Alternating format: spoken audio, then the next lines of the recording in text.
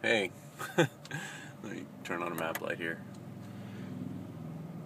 I reckon y'all can see me. So I read through the um, that little uh, House of Representatives bill, and I also um, watched Landshark's video about it, and um, Shall Not Be Infringe's video about it, and I've also seen Grey Wolf's videos about it. Now, Grey Wolf is a New Hampshire resident and he has a carry permit. I think it's based on uh, like his community there. He's able to he's able to carry in his community by uh, by a sign off of the uh, constable or whoever their law enforcement person is or something. The reading of the bill is a bit interesting. It involves a um, an expansion of the duties of a uh, of a federal entity. They're going to do a study on the uh, over the course of a year on how it affects.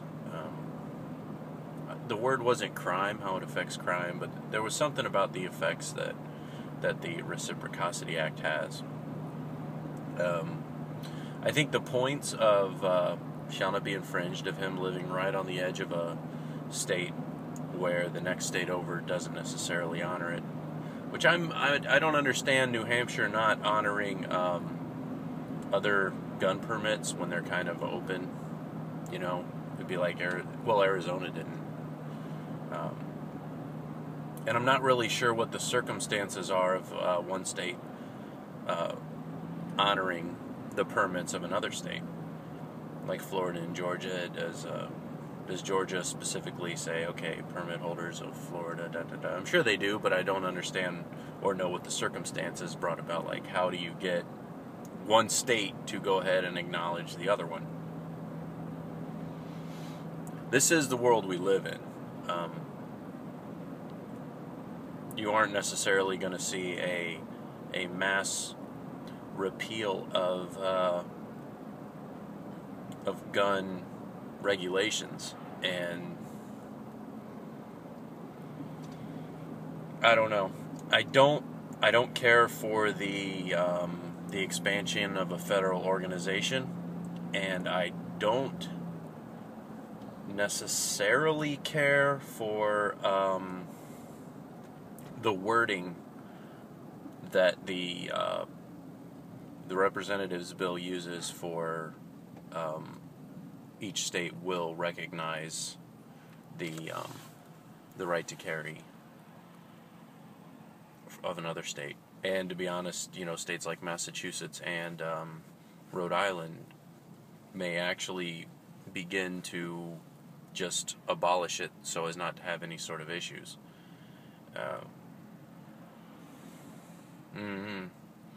I think the when you look at the benefits versus the consequences, it's a it's a rough call, and you can't necessarily um, predict what could happen that's so terrible. But um, whenever you read a bill or a new law, what you have to do is you have to imagine how it can be used in the worst possible case scenario. That is to say, you know how how the person of opposing arguments could use it to harm your position. And in the in the context of, of how I read that H22, I, I think it puts it puts certain things into the per purview and into the ire of uh, of the gun control advocates. Not that not that it's one of those deals like oh gosh, don't make waves and maybe they'll forget about this sort of thing, but. Mm, you just you got to be cautious whenever there's a new law. Um, the wording is simple. There's a couple things I think it's in section one of it that it's a little bit confusing to me.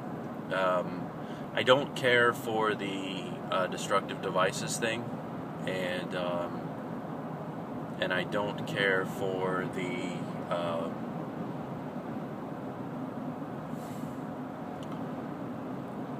what is it the I don't necessarily have a problem with the uh,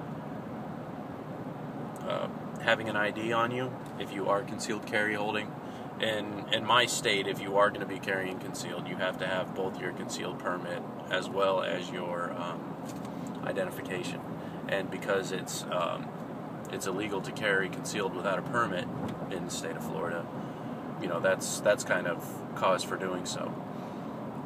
Now, the laws that we have to be wary of are the ones that allow for um, open carry for permit holders. You know, the laws like that, they seem like a really good idea and a furthering of the the gun rights. However, what they in effect do is they automatically a person with a uh, a a open carried firearm will then have to provide identification if asked by law enforcement, and that's an invasion of privacy. I mean, there's a reason for due process, and that that reason has to do with uh, you know, a person's innocent until proven guilty for a reason. You know, this this is my country, and and it's your country, and you don't need to be treated like a damn criminal in your own country.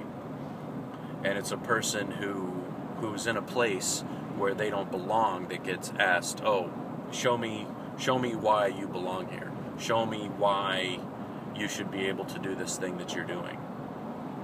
that isn't what what gives a person the ability to be great. It's it's privacy and independence. But now plugging that into 822, um, I don't like the study. I don't like the program where where it takes a look at the adverse effects, and um, I'm deeply concerned with with how specifically Massachusetts. I don't I don't think Rhode Island so much, but uh, you know Massachusetts could be could be pretty hardcore with this. And the people of Massachusetts and the people of uh, of of states such as that who support it, you know, the reason why people are supporting it is because they think they'll win out. But you really got to look at the possibility of not winning out through this. And uh, there you go, man.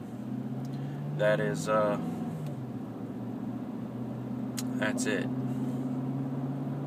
frankly, I think it's a slippery slope, slippery slope, and if you look at it deep enough, it's a, another case of the uh, legislation trying to do the judicial branch's job again.